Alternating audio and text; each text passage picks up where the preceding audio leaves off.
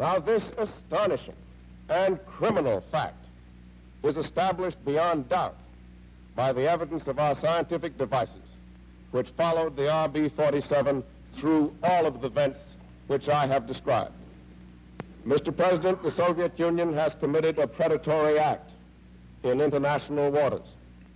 This is serious enough in itself, but the situation has been further aggravated by the subsequent allegations and pronouncements of the Soviet government.